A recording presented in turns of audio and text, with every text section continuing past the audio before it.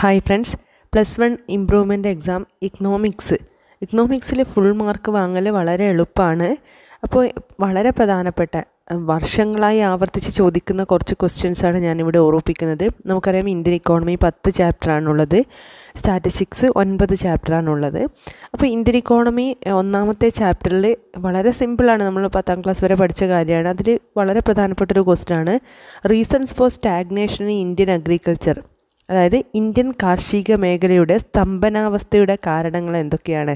Exploitative land settlement system low level technology use negligible use of fertilisers lack of irrigation facility അതുപോലെ കൃഷിയുടെ വാണിജ്യവൽക്കരണം partition of India nineteen forty seven ഇങ്ങനെ ഇതൊക്കെയാണ് അതിന്റെ points നിങ്ങൾക്ക് എല്ലാവർക്കും അറിയായിരിക്കും വളരെ നന്നായിട്ടത് പഠിച്ചിട്ട് വെക്കുക അതുപോലെ വേറൊരു ക്വസ്റ്റ്യാണ് ഈ ചാപ്റ്റർ ചോദിക്കാൻ സാധ്യതയുള്ള ബ്രിട്ടീഷുകാരുടെ ഭരണകാലത്ത് ഇന്ത്യൻ ഇൻഫ്രാസ്ട്രക്ചർ അടിസ്ഥാന സൗകര്യങ്ങളുടെ അവസ്ഥ Indian railway post and telegraph അല്ലെങ്കിൽ air trans transportation facility road ഇതൊക്കെ നമുക്ക് പറയാം. ഇത് ഏറ്റവും പ്രധാനമായിട്ട് വർഷങ്ങളായി ചോദിക്കുന്ന രണ്ട് ക്വസ്റ്റ്യനാണ് ഈ ചാപ്റ്ററിലെ അതോടൊപ്പം ഈ ചാപ്റ്ററിൽ നിന്ന് കുറേ ഒബ്ജക്റ്റീവ് ടൈപ്പ് ക്വസ്റ്റ്യൻ ചോദിക്കാറുണ്ട്. ഒന്നാമത്തേത് ഇന്ത്യൻ റെയിൽവേ സ്റ്റാർട്ട് ചെയ്ത വർഷം ആയിരത്തി എണ്ണൂറ്റി അമ്പത് വൺ എയ്റ്റ് ഫൈവ് സീറോ അതുപോലെ തന്നെ പോസ്റ്റേൺ ടെലഗ്രാഫ് ഡെവലപ്പ് ചെയ്ത വർഷം ആയിരത്തി എണ്ണൂറ്റി മുപ്പത്തി ഏഴ് അതുപോലെ വേറൊരു ക്വസ്റ്റ്യനാണ് സെൻസസ് ഇന്ത്യയിൽ ആദ്യമായി പോപ്പുലേഷൻ ജനസംഖ്യ കണക്കെടുപ്പ് നടന്ന വർഷം ആയിരത്തി എണ്ണൂറ്റി എൺപത്തി ഒന്ന് വൺ എയ്റ്റ് എയ്റ്റ് വൺ പിന്നെ വരുന്ന till nineteen twenty one India was in the first stage of demography transition demography ട്രാൻസിഷന്റെ ഒന്നാം ഘട്ടം ത്തിലായിരുന്നു ഇന്ത്യ ആയിരത്തി തൊള്ളായിരത്തി ഇരുപത്തിയൊന്ന് വരെ. ആ സെന്റൻസ് ഓർത്തു വെക്കുക അത് വ്യത്യസ്ത രീതിയിൽ ക്വസ്റ്റ്യൻസ് വരാൻ സാധ്യതയുണ്ട്. പിന്നെ രണ്ടാമത്തെ ചാപ്റ്ററിലേക്ക് വരികയാണെങ്കിൽ ക്യാപിറ്റലിസം സോഷ്യലിസം മിക്സ്ഡ് ഇക്കോണമി മുതലാളിത്ത സോഷ്യലിസം മിശ്ര സമ്പദ് വ്യവസ്ഥയുടെ സവിശേഷതകൾ ചോദിക്കാൻ സാധ്യതയുണ്ട്. എല്ലാ വർഷവും പല വിധത്തിൽ അത് ചോദിക്കും സെക്കൻഡ് ഇയറും ചോദിക്കാറുണ്ട് ഇതേ ക്വസ്റ്റ്യൻ പിന്നെ ഏറ്റവും പ്രധാനപ്പെട്ട ഒന്ന് goals of five year plan പഞ്ചവത്സര പദ്ധതിയുടെ ലക്ഷ്യങ്ങൾ എന്തൊക്കെയാണ് growth modernisation self reliance equity അല്ലേ? വികസനം ആധുനികവൽക്കരണം സ്വയം പര്യാപ്തത തുല്യത നീതി. ഇത്രയും കാര്യങ്ങളാണ് ഇതിന്റെ ആൻസർ വളരെ പ്രധാനമാണ്. പിന്നെ ഒരു ചാൻസ് ഉള്ളത് impact of five year plan on Indian economy Indian സമ്പദ് വ്യവസ്ഥയിൽ ഫൈവ് ഇയർ പ്ലാനിന്റെ അനന്തരഫലം എന്താണ്? അത് കാർഷിക മേഖലയിൽ വന്നിരിക്കുന്ന അനന്തരഫലം. പഞ്ചവത്സര പദ്ധതി വന്നതുകൊണ്ട് ഇന്ത്യൻ കാർഷിക മേഖലയിൽ വന്നിരിക്കുന്ന മാറ്റങ്ങൾ. ഏറ്റവും പ്രധാനപ്പെട്ട രണ്ടെണ്ണമാണ് ലാൻഡ് റിഫോമും ഗ്രീൻ റവല്യൂഷനും ഭൂപരിഷ്കരണ നിയമങ്ങളും ഹരിത വിപ്ലവവും. അപ്പോൾ ഭൂപരിഷ്കരണ നിയമം എന്താണ്? ഹരിത വിപ്ലവം എന്താണ്? ഹരിത വിപ്ലവത്തിന്റെ ഗുണങ്ങൾ എന്താണ്? ദോഷങ്ങൾ എന്താണെന്നും കൂടി പഠിച്ചു വെക്കുക. പിന്നെ ഈ ചാപ്റ്ററിലെ വേറൊരു പ്രധാനപ്പെട്ടതാണ് ചെറുകിട വ്യവസായങ്ങൾ. ചെറുകിട വ്യവസായങ്ങളുടെ പ്രാധാന്യം ഗ്രാമീണ വികസ മെറിറ്റ്സ് ആൻഡ് ഡിമെറിറ്റ്സ് ചെറുകിട വ്യവസായങ്ങളുടെ ഗുണങ്ങളും ദോഷങ്ങളും ഒന്ന് നന്നായിട്ട് നോക്കി വെക്കുന്നത് നല്ലതായിരിക്കും. അത് വളരെ വളരെ വർഷങ്ങളായിട്ട് ചോദിക്കുന്ന ക്വസ്റ്റ്യനാണ് അതൊന്ന് നോക്കി വെക്കുക. ഇത്രയൊക്കെ രണ്ടാമത്തെ ചാപ്റ്ററിലുള്ളൂ ഇത്രയും നോക്കി വെച്ചാൽ തന്നെ നിങ്ങൾക്ക് ഫുൾ മാർക്ക് സ്കോർ ചെയ്യാൻ വേണ്ടി പറ്റും. പിന്നെ മൂന്നാമത്തെ ചാപ്റ്ററിൽ വരുമ്പോൾ ന്യൂ ഇക്കണോമിക് പോളിസിയാണ് ന്യൂ ഇക്കണോമിക് പോളിസിയിൽ കഴിഞ്ഞ വർഷങ്ങളൊക്കെ ഒന്ന് ചോദിച്ചിരുന്നു നയന്റീൻ നയന്റി വണ്ണിൽ ന്യൂ ഇക്കണോമിക് പോളിസി വരാനുള്ള ബാക്ക്ഗ്രൗണ്ട് എന്താണെന്ന്. എല്ലാവരും ബുക്ക് എടുത്ത് പഠിക്കുമ്പോൾ ടെക്സ്റ്റ് ബുക്കിൽ ആദ്യം കാണുന്ന കുറച്ച് ഭാഗങ്ങളാണ്. അതൊന്ന് നോക്കി വെക്കുക. പിന്നെ ലിബറലൈസേ എൽ പി ജി ആണെന്ന് പറയുന്നത്. Liberalisation privatisation globalisation L P G അതായത് ലിബറലൈസേഷൻ എന്ന് പറയുമ്പോൾ ഉദാരവൽക്കരണം പിന്നെ പ്രൈവറ്റൈസേഷൻ സ്വകാര്യവൽക്കരണം ഗ്ലോബലൈസേഷൻ ആധുനികവൽക്കരണം. അവിടെ ഒരു ക്വസ്റ്റ്യൻ ലിബറലൈസേഷൻ എന്ന് ചോദിക്കാറുള്ളത്. അതായത് ഇൻഡസ്ട്രിയൽ സെക്ടറിൽ വന്ന ലിബറലൈസേഷൻ എന്തൊക്കെയാണ്? ഫിനാൻഷ്യൽ സെക്ടറിൽ വന്ന ലിബറലൈസേഷൻ ടാക്സ് സെക്ടറിൽ അത് ഇൻഡസ്ട്രിയലും ഫിനാൻഷ്യൽ പലപ്പോഴും ചോദിക്കാറുണ്ട്. വ്യാവസായിക മേഖലയിൽ ഉദാരവൽക്കരണത്തിന്റെ ഭാഗമായി വന്ന മാറ്റങ്ങൾ എന്തൊക്കെയാണ്? De licensing de reservation de reservation of goods for small scale industries അമെൻമെന്റ് of M R T P N FERA തുടങ്ങിയ പോയിന്റ്സ് ഉണ്ടല്ലോ. അതുപോലെ ഫിനാൻഷ്യൽ സെക്ടർ പറയുമ്പോൾ എന്താ ന്യൂ ജനറേഷൻ ബാങ്ക്സ് വന്നു ബാങ്ക് ബ്രാഞ്ചസ് വന്നു C R R S L R ഇങ്ങനെ കുറേ points ഉണ്ട്. ആൻസർ മൊത്തം പറയുന്നത് എനിക്കിത് കംപ്ലീറ്റ് ഈ വീഡിയോയിൽ തീരില്ല. അതുകൊണ്ടാണ് ഞാൻ പറയുന്നത് പോയിന്റ്സ് ഓർത്ത് വെക്കുക ഇത്രയും കാര്യങ്ങളാണ് ഈ ചാപ്റ്ററിൽ ആദ്യത്തെ ലിബറലൈസേഷൻ പാട്ടുന്നത് പിന്നെ പ്രൈവറ്റൈസേഷനെ കുറിച്ച് ചോദിക്കാറ്. Privatisation another name denationalisation disinvestment ഇത് രണ്ടും സ്വകാര്യവൽക്കരണത്തിന്റെ രണ്ട് പേരുകളാണ്. ഡീ നാഷണലൈസേഷനും ഡിസ്ഇൻവെസ്റ്റ്മെന്റും അതൊന്ന് ഓർത്ത് വെക്കുക. പിന്നെ ഗ്ലോബലൈസേഷനിൽ നിന്ന് വരുന്ന ഏറ്റവും പ്രധാനപ്പെട്ട ഒരു ക്വസ്റ്റ്യനാണ് ഔട്ട്സോഴ്സിങ് പുറം വാങ്ങൽ എന്ന് പറഞ്ഞാൽ എന്താണ്? പുറം വാങ്ങൽ. ഉറപ്പായിട്ട് പഠിച്ചോളൂ. വർഷങ്ങളായി ചോദിക്കുന്നതാണ്. നിങ്ങളെ കഴിഞ്ഞ വർഷം ചോദിച്ചിട്ടില്ല. ഈ വർഷം അത് ഉണ്ടാവും. പിന്നെ world trade W T O world trade organisation ആയിരത്തി തൊള്ളായിരത്തി തൊണ്ണൂറ്റി അഞ്ചിൽ ഗാട്ട് ഡബ്ല്യു ടി ഒ ആയി മാറുന്നു. ഗാട്ട് ആയിരത്തി തൊള്ളായിരത്തി നാൽപ്പത്തി എട്ടിൽ ഫോം ചെയ്യുന്നു. General agreement on tariff and trade പിന്നീട് ആയിരത്തി തൊള്ളായിരത്തി തൊണ്ണൂറ്റി അഞ്ചിൽ W T O world trade ഓർഗനൈസേഷനായി മാറുന്നു. അത് ചെറിയ ക്ലാസ്സിൽ നിങ്ങൾ പഠിച്ചതാണ്. പിന്നെ ചില ക്വസ്റ്റ്യൻ പേപ്പറിലൊക്കെ ഈ ന്യൂ ഇക്കണോ പോളിസിയുടെ അനന്തര ഫലം എന്താണ്? എന്ന് ചോദിക്കാറുണ്ട്. അത് ചോദിക്കുമ്പോൾ എല്ലാ മേഖലകളും ടച്ച് ചെയ്തിട്ട് ആൻസർ എഴുതുക. എംപ്ലോയ്മെന്റ് കൂടിയോ അഗ്രികൾച്ചർ സെക്ടറിൽ എന്ത് മാറ്റം വന്നു? ഇൻഡസ്ട്രിയൽ സെക്ടറിൽ എന്ത് മാറ്റം വന്നു? ഇൻവെസ്റ്റ്മെന്റിൽ എന്തൊക്കെ മാറ്റം വന്നു? പിന്നെ ഫോറിൻ ഇൻവെസ്റ്റ്മെന്റിൽ എത്ര ബെനിഫിറ്റ് ഉണ്ടായി? രാജ്യത്തിന്റെ ഗ്രോത്ത് എങ്ങനെയാണ്? അതൊക്കെ നമ്മൾ ഈ ചാപ്റ്ററിന്റെ ലാസ്റ്റ് പാർട്ടിൽ പറയുന്നുണ്ട്. പോയിന്റ്സ് മാത്രം ഓർത്ത് വെക്കുക. പിന്നെ അടുത്തത് വളരെ പ്രധാനപ്പെട്ട ചാപ്റ്ററാണ് ഈ ചാപ്റ്റർ എന്ന എസ് ആണ് ചോദിക്കുക. പോവട്ടി. ദാരിദ്ര്യം എന്താണ്? ദാരിദ്ര്യ നിർമ്മാർജന പദ്ധതികൾ എന്തൊക്കെ? ദാരിദ്ര്യം ദാരിദ്ര്യത്തിന്റെ കാരണങ്ങൾ ദാരിദ്ര്യ നിർമ്മാർജന പദ്ധതികൾ. ഒറ്റയടിക്ക് ഈ ക്വസ്റ്റ്യൻ പറയുകയാണ് ഒരു ഷുവർ എസ് എ ക്വസ്റ്റ്യൻ ആണ്. ദാരിദ്ര്യം എന്താണ്? ദാരിദ്ര്യത്തിന്റെ കാരണങ്ങൾ എന്തൊക്കെയാണ്? ദാരിദ്ര്യ നിർമ്മാർജന പദ്ധതികൾ. അത് നിർമ്മാർജന പദ്ധതികൾ employment grow growth oriented approach employment generation programme social security programme അതായത് രാജ്യത്തിന്റെ വികസനത്തിനെ ബേസ് ചെയ്തിട്ടുള്ള പ്രോഗ്രാം അതുപോലെ തൊഴിൽ ക്രിയേറ്റ് ഇതുകൊണ്ട് ദാരിദ്ര്യം ഇല്ലാതാക്കുന്ന പരിപാടി എംപ്ലോയ്മെന്റ് ജനറേഷൻ ഒരുപാട് പ്രോഗ്രാമില്ലേ അപ്പോൾ അതൊക്കെ നമ്മൾ ഓർത്ത് വെക്കുക. എംപ്ലോയ്മെന്റ് ജനറേഷൻ പ്രോഗ്രാം ഒരുപാടല്ലേ? സ്വർണജയന്തി ഗ്രാം സരോസ്കർ യോജന അപ്പോൾ പ്രൈം മിനിസ്റ്റർ റോസ്കർ യോജന അങ്ങനെ കുറേ പ്രോഗ്രാം ഉണ്ട്. ഷോർട്ട് ഫോമെങ്കിലും പഠിച്ചു വെക്കുക ഈ ഓരോ പ്രോഗ്രാമിന് പിന്നെ സാമൂഹ്യ സുരക്ഷാ പദ്ധതികൾ പെൻഷൻ പ്രോഗ്രാംസ് ഒക്കെ ഇല്ലേ? അതൊക്കെ ഓർത്തു. ഒറ്റ ക്വസ്റ്റ്യനായിട്ട് ഇത് പഠിച്ചോളൂ. S A sure S A ക്വസ്റ്റ്യനാണ് പിന്നെ അഞ്ചാമത്തെ ചാപ്റ്റർ വളരെ കുറച്ച് ക്വസ്റ്റ്യൻസ് മാത്രമേ വരുന്നത് ഒറ്റ ക്വസ്റ്റ്യൻ ഉറപ്പിച്ചാൽ മതി അഞ്ചാമത്തെ ചാപ്റ്ററിൽ നിന്ന് മനുഷ്യ what is the human capital ഫോർമേഷന്റെ sources sources of human capital formation മനുഷ്യ വികസന സൂചികയുടെ അല്ലെങ്കിൽ മനുഷ്യ മൂലധന വികസന സൂചികയുടെ ഉറവിടം എന്താണ്? ആ പോയിന്റ്സ് കൊടുത്ത് വെച്ചാൽ മതി. അഞ്ച് point education health job training migration information എല്ലാ വർഷവും ആവർത്തിക്കുന്നതാണ് sources of human capital formation പിന്നെ human human capital human development ഒരു ഒബ്ജക്റ്റീവ് ടൈപ്പൊക്കെ ചിലപ്പോൾ ഈ ചാപ്റ്ററിൽ നിന്ന് എവിടെ നിന്നും വരാൻ സാധ്യതയുണ്ട്. അതായത് റെഗുലേറ്ററി ബോഡീസിന് എഡ്യൂക്കേഷനൊക്കെ ഉണ്ട്. N C R T U G C A I C T I C M R അതിനെയൊക്കെ ബേസ് ചെയ്തൊരു ഒബ്ജക്റ്റീവൊക്കെ ചോദിക്കാൻ സാധ്യതയുണ്ട്. പ്രധാനമായി സോഴ്സസ് ഓഫ് ഹ്യൂമൻ ക്യാപിറ്റൽ ഫോർമേഷനാണ് ഈ ചാപ്റ്ററിൽ വേറെ ഒന്നും പഠിച്ചില്ലെങ്കിൽ അത് നോക്കുക. പിന്നെ ആറാമത്തെ ചാപ്റ്റർ റൂറൽ ഡെവലപ്മെന്റ് ആണ്.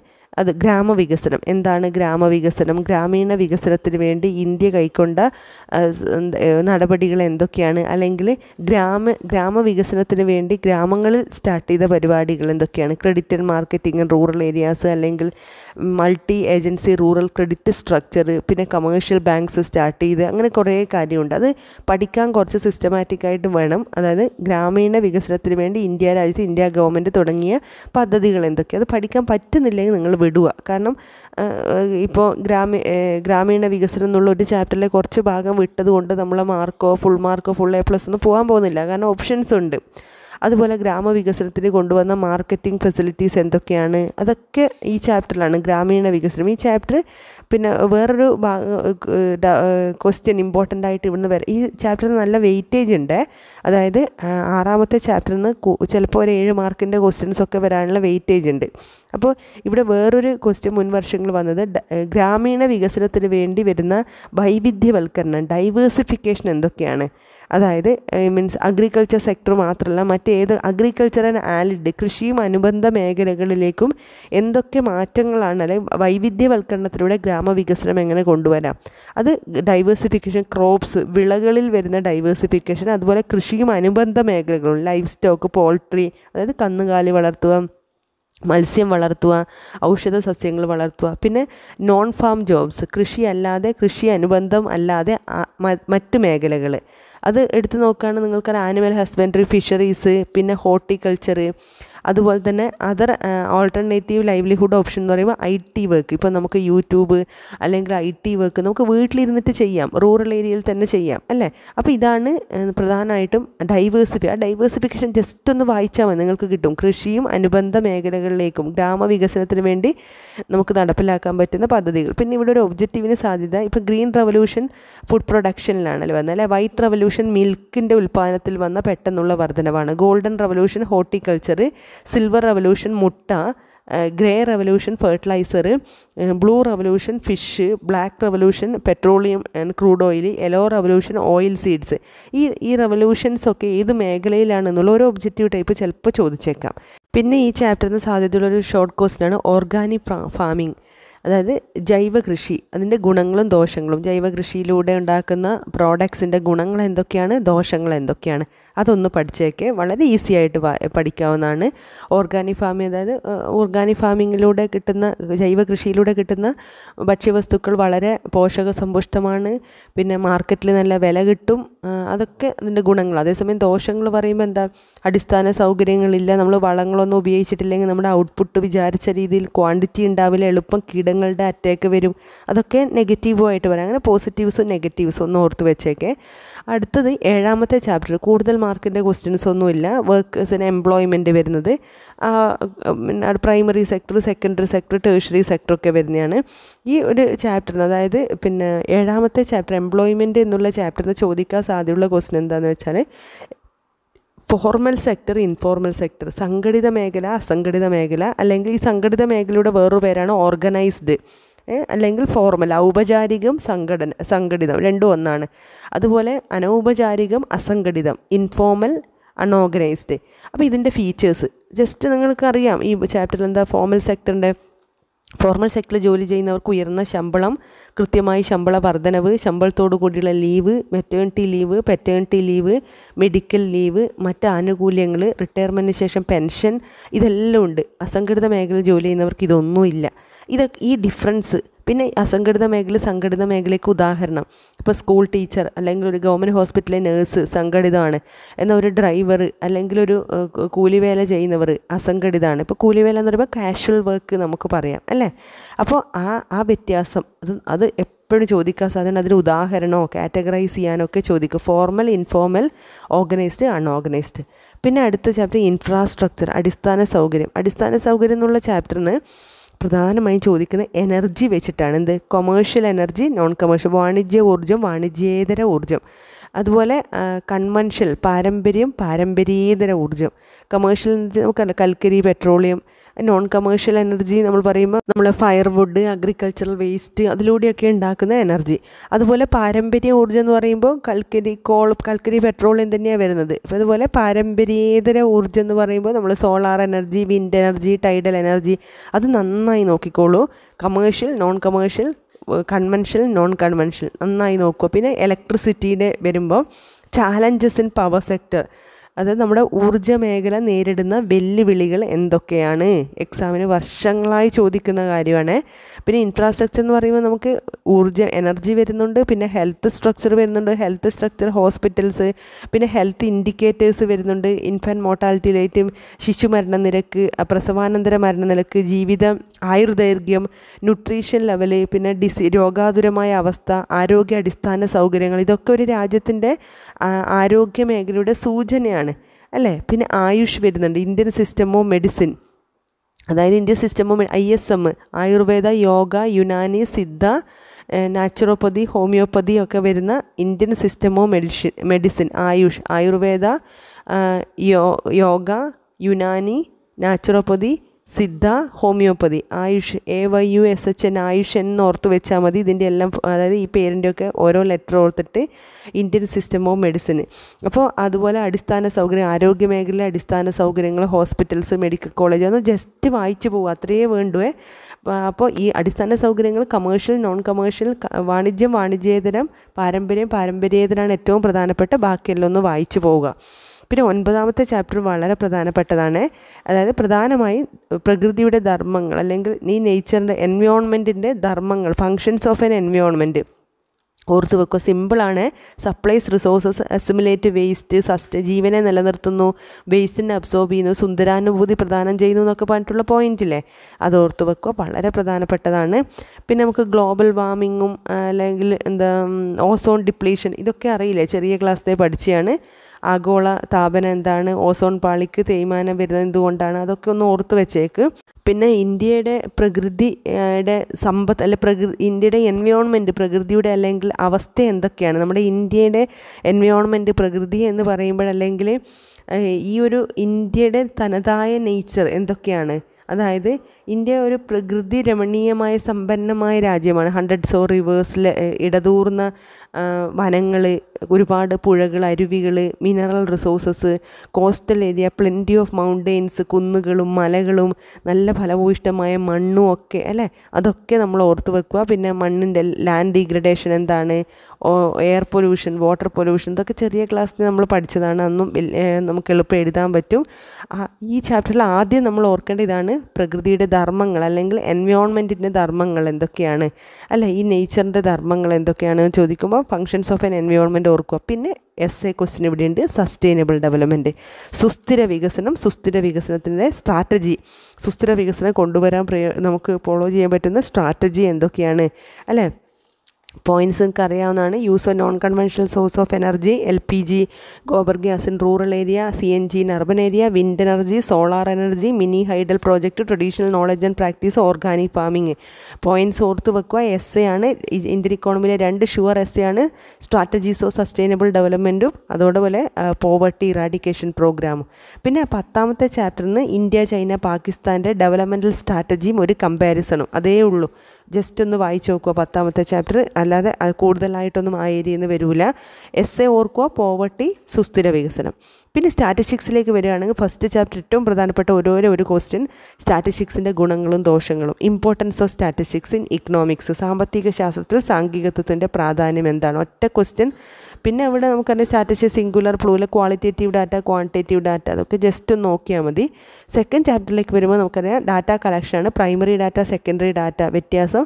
പിന്നെ ഏറ്റവും പ്രധാനപ്പെട്ട ഒന്ന് qualities of a good questionnaire ഒരു നല്ല ക്വസ്റ്റിനെയറിന്റെ ഗുണങ്ങൾ എന്തൊക്കെയാണ്?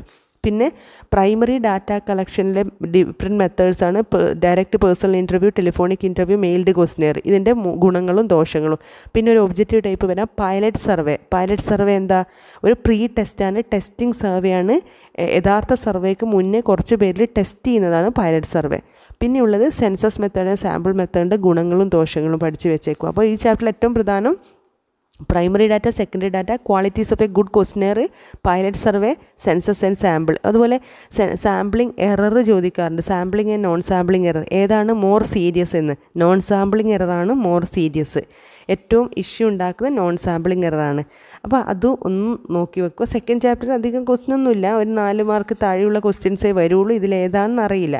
പിന്നെ അടുത്തത് ഓർഗനൈസേഷൻ ഓഫ് ഡാറ്റയാണ് ഡാറ്റ ഓർഗനൈസേഷനിൽ പിന്നെ സാധാരണയായിട്ട് നമുക്കറിയാം എന്താ ക്ലാസിഫിക്കേഷനോ ഡാറ്റ വരുന്നുണ്ട്.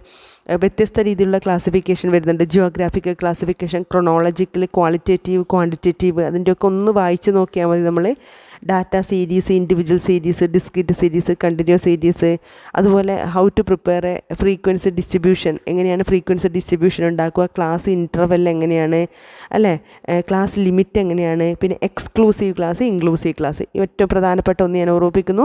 എക്സ്ക്ലൂസീവ് ക്ലാസ്സും ഇൻക്ലൂസീവ് ക്ലാസ്സും അത് തമ്മിലുള്ള വ്യത്യാസം. അപ്പോൾ ക്ലാസ് എങ്ങനെയാണ് ഫോം ചെയ്യുക നമുക്കറിയാം. Zero to ten example zero to ten ten to twenty twenty to thirty നമ്മൾ ക്ലാസ് ഉണ്ടാക്കൂലേ. അപ്പോൾ zero to ten ten to twenty twenty to thirty exclusive and inclusive ചോദിക്കുമ്പോൾ നമ്മൾ ആദ്യം ഒരു എക്സാമ്പിൾ ഇടുക. Zero to ten ten to twenty twenty to thirty അതായത് ഒരു ക്ലാസ്സിന്റെ അപ്പർ ലിമിറ്റ് തൊട്ടടുത്ത ക്ലാസ്സിൽ ലോവർ ലിമിറ്റ് സെയിം ആയി വരുന്നത് എക്സ്ക്ലൂസീവ് അല്ലാതെ zero to nine ten to nineteen twenty to twenty nine അത് ഇൻക്ലൂസീവ് ക്ലാസ് അല്ലേ? ആ എക്സ്ക്ലൂസീവ് ആൻഡ് ഇൻക്ലൂസീവ് ചാപ്റ്റർ എന്ന് ചോദിക്കാൻ സാധ്യതയുള്ളതാണ്. പിന്നെ ഒരു frequency distribution table with tally marks ഒരു അമ്പത് ക്വസ്റ്റ്യനോ മറ്റോ തന്നിട്ട് അതിനെ ബേസ് ചെയ്തിട്ട് കണ്ടിന്യൂസ് ഫ്രീക്വൻസി ഡിസ്ട്രിബ്യൂഷൻ ടാലി മാർക്കിട്ട് പ്രിപ്പയർ ചെയ്യാനും ചോദിക്കാണ്ട് ഈ ചാപ്റ്ററിൽ ഏറ്റവും പ്രധാനപ്പെട്ട രണ്ടെണ്ണമാണ് exclusive class and inclusive class അവർ തമ്മിലുള്ള വ്യത്യാസം. പിന്നെ frequency distribution tally mark tally marks വരികയാണെങ്കിൽ അഞ്ച് മാർക്കിനാണ് വരിക. എന്റെ വീഡിയോയിൽ എവിടെയോ ഞാനൊരു ടാലി മാർക്ക് ഇടുന്നതൊക്കെ ചെയ്തിട്ടുണ്ട്. അപ്പോൾ അത് നിങ്ങൾക്കൊന്ന് സെർച്ച് ചെയ്ത് നോക്കിയാൽ കിട്ടും. അല്ലെ ജസ്റ്റ് നിങ്ങൾക്ക് നിങ്ങൾ ബുക്കിൽ തന്നെ ചെയ്തിട്ടുണ്ടാവും. നിങ്ങളൊരു ക്വസ്റ്റ്യൻ എടുത്തിട്ട് ടാലി ഇട്ടിട്ട് ഫ്രീക്വൻസി അതായത് എക്സ്ക്ലൂസീവ് ക്ലാസ്സോ ഇൻക്ലൂസീവ് ക്ലാസ്സോ ഏതാണ് പ്രിപ്പയർ ചെയ്ത് ടാലി ഇട്ട് നോക്കുക. പിന്നെ നാലാമത്തെ ചാപ്റ്ററിൽ പ്രസന്റേഷൻ ഓഫ് ഡാറ്റയാണ് വരുന്നത്. പ്രസന്റേഷൻ ഓഫ് ഡാറ്റയിൽ പിന്നെ നമ്മുടെ ടേബിൾ പ്രിപ്പയർ ചെയ്യുന്നത്. അതായത് പാർട്സ് ഓഫ് എ ടേബിൾ അത് table number table title column heading row heading column ഹെഡിങ്ങിന്റെ പേരാണ് ക്യാപ്ഷൻ റോ ഹെഡിങ് സ്റ്റെപ്സ് പിന്നെ body of the table unit of measurement sauce note ആ പാർട്സ് ഓഫ് എ ടേബിൾ ഒന്ന് പഠിച്ചു വെച്ചേക്കെ. പിന്നെ നാലാമത്തെ ചാപ്റ്ററിൽ ഗ്രാഫ് വരുവേ കുട്ടികളെ. ഗ്രാഫ് നോക്കേണ്ടത് പൈ ഡയഗ്രാമാണ് പ്രധാനമായി നോക്കേണ്ടത് പിന്നെ ഒന്ന് ഹിസ്റ്റോഗ്രാമും നോക്കുക. പിന്നെ ഏറ്റവും പ്രധാനപ്പെട്ട ഒജീവാണ് ഒജീവാണ് ചിലപ്പോൾ എസ് സി ഒക്കെ ആയിട്ടാണ് വരുവേ less than ogive more than ogive നോക്കുക. പൈ ഡയഗ്രമൊക്കെ മൂന്നോ നാലോ മാർക്കിനേ വരുള്ളൂ. പിന്നെ ഹിസ്റ്റോഗ്രാം ആണെങ്കിൽ മൂന്നോ നാലോ മാർക്കിനേ വരുള്ളൂ. ഒജീവാണെങ്കിൽ മിനിമം അഞ്ച് മാർക്ക് അല്ലെങ്കിൽ എസ് എ ആണ് ഒജീവ് വരിക. പിന്നെ ഈ ചാപ്റ്ററിലെ എസ് എ അതായത് ചിലപ്പോൾ നാലാമത്തെ ചാപ്റ്ററിൽ നിന്ന് ഒജീവ് എസ് എ വന്നിട്ട് ഒജീവ് ചേർന്നിട്ട് ഒജീവ് നിന്ന് മീഡിയൻ കാണാം ഹിസ്റ്റോഗ്രാമിൽ നിന്ന് മോഡ് കാണാം. അത് രണ്ടും ഓർത്ത് വെക്കും ഒബ്ജക്റ്റീവ് ടൈപ്പാണ് ഇനി ഒജീവ് എസ് എ ആയി ചോദിച്ചിട്ടില്ലെങ്കിൽ നമുക്ക് പിന്നെ പ്രോബിൾ എന്തായാലും എസ് എ ഉണ്ട്. അഞ്ചാമത്തെ ചാപ്റ്റർ മീൻ മീഡിയൻ മോഡ് കാണുന്നത്. ഈ എന്റെ വീഡിയോയിൽ ഉണ്ട് പറ്റുമെങ്കിൽ ഞാൻ അതെല്ലാം ഐ കാർഡിൽ കൊടുക്കാം. നിങ്ങൾക്ക് ചെക്ക് ചെയ്ത് നോക്കാം. മീൻ മീഡിയൻ മോഡ് കാണുന്ന എസ് എ ഈ സ്റ്റാറ്റിസ്റ്റിക്സിലെ എസ് എ നിങ്ങൾക്ക് കിട്ടി. ഒരു മീൻ മീഡിയൻ മോഡ് നിങ്ങൾ പഠിച്ചിട്ട് പോയിക്കോളൂ. പിന്നെ ചിലപ്പോൾ നമുക്ക് ആറാമത്തെ ചാപ്റ്ററിന് എസ് എ അഞ്ചും ആറുമാണ് എസ് എക്ക് വെയിറ്റേജ് ഉള്ള ചാപ്റ്റർ ചിലപ്പോൾ അത് നിങ്ങൾക്ക് ഈസി ആക്കാൻ നാലിന്ന് ഒജീവും ചോദിക്കാറുണ്ട്. അതായത് രണ്ട് എസ് എ ആണ് സ്റ്റാർട്ട് ചെയ്യുന്നത് മാക്സിമം ഉണ്ടാവുക. കൂടി വന്ന ചിലപ്പോൾ ഒരു എസ് സി ആയിരിക്കും മീൻ മീഡിയം മോഡ് നിങ്ങൾ പഠിച്ചാൽ തന്നെ കിട്ടി. പിന്നെ ആറാമത്തെ ചാപ്റ്റർ എടുക്കുവാണെങ്കിൽ ചോദിക്കാൻ സാധ്യതയുള്ളത് ചിലപ്പോൾ സ്റ്റാൻഡേർഡ് ഡീവിയേഷനോ മീൻ ഡീവിയേഷനോ ക്വാർട്ടേൽ ഡീവിയേഷനോ ചോദിച്ചേക്കാം. അത് നിങ്ങൾക്ക് പറ്റൂലെങ്കിൽ ആറാമത്തെ ചാപ്റ്റർ നിങ്ങൾ അതൊക്കെ വിടുക. പക്ഷേ ആറാമത്തെ ചാപ്റ്റർ നിങ്ങൾ പഠിക്കേണ്ട ഒരു കാര്യമുണ്ട്. നമ്മൾ റേഞ്ച് ഇപ്പോൾ വളരെ സിമ്പിളായിട്ട് നമുക്ക് range കണ്ടുകൂടെ largest value minus smallest value അത് റേഞ്ചാണ് അല്ലേ? അതിപ്പോൾ കോട്ടയിൽ ഡീവിയേഷന്റെ സിമ്പിളായ കാര്യം. ആ സിമ്പിളായിട്ട് പഠിക്കാൻ പറ്റുന്നതൊക്കെ പഠിക്കുക. ഇപ്പോൾ സ്റ്റാൻഡേർഡ് ഡീവിയേഷൻ ഒന്നും പഠിക്കാൻ പറ്റുന്നില്ലെങ്കിൽ അത് വിട്ടേക്കുക. മീൻ മീഡിയം മോഡ് എന്തായാലും പഠിക്കുക. പിന്നെ ഏഴാമത്തെ ചാപ്റ്ററിൽ കോറിലേഷനാണ് കോറിലേഷനിൽ ഗ്രാഫിക്കൽ മെത്തേഡിലൂടെ കോറിലേഷൻ കണ്ടുപിടിക്കുന്ന സ്കാറ്റർ ഡയഗ്രാം അല്ല? പെർഫെക്റ്റ് പോസിറ്റീവ് മാറിപ്പോരുത്. ആ ഗ്രാഫ് നോക്കി വെക്കുക. പെർഫെക്റ്റ് പോസിറ്റീവ് ഒറ്റ ലൈനിൽ പോയിന്റ്സ് വരുന്നത്. പിന്നെ പോസിറ്റീവ് അപ്വേർഡ് റൈസിങ് വരിക. Negative perfect negative no correlation അഞ്ച് കോറിലേഷന്റെ ഗ്രാഫ് ഓർക്കുക. ചിലപ്പോൾ ഒന്ന് പ്രോബ്ലം ആയിരിക്കും. പിന്നെ എട്ടാമത്തെ ചാപ്റ്റർ ഇൻഡെക്സ് നമ്പർ ഇൻഡെക്സ് നമ്പറിന്റെ ആദ്യ ഭാഗം എന്താണ്? ഇൻഡെക്സ് നമ്പറിന്റെ യൂസസ് എന്താണ്? ഇൻഡെക്സ് നമ്പർ ഒരു പേരുണ്ട്. ഇക്കണോമിക് ബാരോമീറ്റർ സാമ്പത്തിക ശാസ്ത്രത്തിന്റെ സ്പന്ദനം മനസ്സിലാക്കാൻ മെഷർ ചെയ്യാൻ ഉപയോഗിക്കുന്ന ഒന്നാണ് ഇൻഡെക്സ് നമ്പർ ഇൻഡെക്സ് നമ്പർ എന്താണ്? സ്പെഷ്യലൈസ്ഡ് ആവറേജ് ആണ്. ആ ഇൻഡെക്സ് നമ്പറിന്റെ എന്തിനാണ്? ഇന്ത്യൻ ഇക്കോണമി എന്ത് ഏതൊക്കെ തരത്തിലുള്ള ഇൻഡെക്സ് നമ്പർ ഉണ്ട്? അല്ലേ? Industrial production index number consumer price index number cost of living index number wholesale price index ഇപ്പോൾ സപ്പോസ് രാജ്യത്തെ ഇൻഫ്ലാഷൻ മെഷർ ചെയ്യാൻ വേണ്ടി ഏത് ഇൻഡെക്സ് നമ്പർ ഉപയോഗിക്കുന്നത്? ഹോൾസെയിൽ പ്രൈസ് ഇൻഡെക്സ് ആണ്. ഒരു മനുഷ്യന്റെ ജീവിത ചെലവ് മനസ്സിലാക്കാനോ consumer price index C P I ആണ്. അതിന് കോസ്റ്റ് ഓഫ് ലിവിങ് ഇൻഡെക്സ് എന്ന് പറയും. അത് ജസ്റ്റ് ഒന്ന് നോക്കും. അവിടുന്ന് ഒരു മൂന്ന് മാർക്കിന്റെ ക്വസ്റ്റിനെ ഈ ചാപ്റ്റർ എന്നുള്ളൂ ഇൻഡെക്സ് നമ്പർ എന്നുള്ള. അപ്പോൾ അല്ലെങ്കിൽ Bombay stock exchange B S C Sensex അല്ലെങ്കിൽ നിഫ്റ്റി അതെല്ലാം ഇൻഡെക്സ് നമ്പറിന്റെ കാറ്റഗറിയിൽ പെട്ടതാണ്. അപ്പോൾ ഡിഫറെന്റ് ടൈപ്സ് ഓഫ് ഇൻഡസ് നമ്പറിൽ പെടുന്നതാണ് അതൊക്കെ ജസ്റ്റ് ഒന്ന് വായിച്ച് നോക്കുക ലാസ്റ്റ് ചാപ്റ്ററിൽ ഒരു ഷുവർ ക്വസ്റ്റൻ ആണ്. അത് ഒറ്റ ക്വസ്റ്റ്യൻ രണ്ടോ മൂന്നോ മാർക്കിന്റെ ഒരു ക്വസ്റ്റ്യൻ ആണ്. Steps of a project or steps of a project report ആ പോയിന്റ്സ് മാത്രം ഓർക്കുക. അതായത് പത്തൊൻപതാമത്തെ ചാപ്റ്ററിൽ ഒരു പ്രോജക്റ്റ് എന്താണ് ഒരു പ്രോജക്റ്റ് ആ പ്രോജക്റ്റ് തയ്യാറാക്കുന്നതിനുള്ള സ്റ്റെപ്സ് എന്തൊക്കെയാണ്? ചിലപ്പോൾ സ്റ്റെപ്സ് ഡിസോർഡറായി തന്നിട്ട് ഓർഡർ ചെയ്യാൻ വേണ്ടി പറയും. അല്ലെങ്കിൽ സ്റ്റെപ്സ് കണ്ടുപിടിക്കാനും പറയും. അപ്പോൾ അതൊന്നും ഉഷാറായി നോക്കി വെച്ചോളൂ. ഷുവർ ക്വസ്റ്റ്യൻ ആണ്. Steps of a project oh steps of a project report എല്ലാം അവിടുന്ന് വേറെ ക്വസ്റ്റ്യൻ ചോദിക്കാനില്ല. അല്ല ഒരു പ്രോജക്റ്റിന് എക്സാമ്പിൾ അത്രയേ ചോദിക്കുള്ളൂ. ഇൻഡസ് നമ്പറിൽ നിന്ന് ഇതുപോലെ ഒരു ഒബ്ജക്റ്റീവ് ടൈപ്പോ അല്ല ഒരു വേറെ ഒരു രണ്ട് മാർക്ക് ചിലപ്പോൾ ഏതെങ്കിലും ഒരു ഇൻഡസ് നമ്പർ പ്രോബ്ലം ചോദിക്കാറുണ്ട് ചിലപ്പോൾ കേട്ടോ. Simply weighted average simple index നമ്പറോ അല്ലെങ്കിൽ വെയ്റ്റഡ് ആവറേജോ ഏതെങ്കിലും ഒരു ഇൻഡസ് നമ്പർ രണ്ടോ മൂന്നോ മാർക്കിന് ചോദിക്കും. അപ്പോൾ അത് കോംപ്ലിക്കേറ്റഡ് ആയതൊന്നും നോക്കണ്ട. ഇൻഡസ് നമ്പറിൽ ആദ്യത്തെ ഒരു പ്രോബ്ലം നോക്കുക. നിങ്ങൾക്ക് ചെയ്യാൻ പറ്റുന്നത് അല്ലേ? എന്താ base year price current year price അല്ലെ? Base year quantity current year quantity എന്നൊക്കെ ഉള്ളത് അതൊന്ന് നോക്കുക. അതിനുശേഷം സ്റ്റെപ്സ് ഓഫ് എ പ്രോജക്റ്റ് അല്ലെങ്കിൽ steps of a project report അതൊരു ഷുവർ ക്വസ്റ്റൻ ആണ്. അപ്പോൾ ഞാൻ ഈ സ്റ്റാറ്റിസ്റ്റിക്സിലെ sure essay mean median mode പിന്നെ ചിലപ്പോൾ സ്റ്റാൻഡേർഡ് ഡീവിയേഷനോ അല്ല മീൻ ഡീവിയേഷനോ അതൊക്കെ അതൊന്നും പഠിക്കാൻ പറ്റില്ല. മീൻ മീഡിയം മോഡ് പഠിക്കുക ഒജീവ് വരക്കാൻ വേണ്ടി പഠിക്കുക. പിന്നെ സിമ്പിളായി നിങ്ങൾക്ക് പഠിക്കാൻ പറ്റുന്ന കുറേ കാര്യങ്ങളുണ്ട്. സ്റ്റാറ്റിസ്റ്റിക്സിൽ സ്റ്റാറ്റിസ്റ്റിക്സിലെ ഗുണങ്ങൾ എന്തൊക്കെയാണ്? ഒരു ക്വസ്റ്റിനെയറിന്റെ ക്വാളിറ്റീസ് എന്തൊക്കെയാണ്? സെൻസസ് മെത്തേഡ് അല്ലെ പാർട്സ് ഓഫ് എ ടേബിൾ ഏതൊക്കെയാണ്? എക്സ്ക്ലൂസീവ് ഇൻക്ലൂസീവ് ടേബിൾ എങ്ങനെ പ്രിപ്പയർ ചെയ്യാം? അല്ലെ ടാലി മാർക്കറ്റിൽ ഫ്രീക്വൻസി ഡിസ്ട്രിബ്യൂഷൻ ടേബിൾ എങ്ങനെ ഉണ്ടാക്കാം? അല്ലേ? അതൊക്കെ സിമ്പിളാണ് അങ്ങനെ പറ്റാൻ പഠിക്കാൻ പറ്റുന്നതൊക്കെ സ്റ്റാറ്റിസ്റ്റിക്സ് പഠിക്കുക കംപ്ലീറ്റ് പറ്റൂലെങ്കിൽ അതുപോലെ ഇന്ത്യൻ ഇക്കോണമിയിലെ എസ് എ സസ്റ്റൈനബിൾ ഡെവലപ്മെന്റ് സ്ട്രാറ്റജീസും പോവർട്ടിയാണ് അതിന് പുറമെ ഈ പറഞ്ഞിരിക്കുന്ന കാര്യങ്ങളൊക്കെ ജസ്റ്റ് ഒന്ന് ഓർക്കുക. കംപ്ലീറ്റ് ചാപ്റ്ററിന്റെ ഒരു ഇമ്പോർട്ടന്റ് സമ്മറിയാണ് ഞാൻ പറഞ്ഞത്. നിങ്ങൾക്ക് മനസ്സിലായിട്ടുണ്ടാവുമെന്ന് കരുതുന്നു. സ്റ്റാറ്റിസ്റ്റിക്സിൽ എനിക്ക് എടുക്കാൻ പറ്റുന്ന വീഡിയോസ് ഉണ്ടെങ്കിൽ ഞാൻ ഐ കാർഡിൽ കൊടുക്കാം. എന്തായാലും എല്ലാവരും നന്നായി നോക്കുക. ഫുൾ മാർക്ക് വാങ്ങാൻ സാധിക്കട്ടെ. Wish you all the best God bless you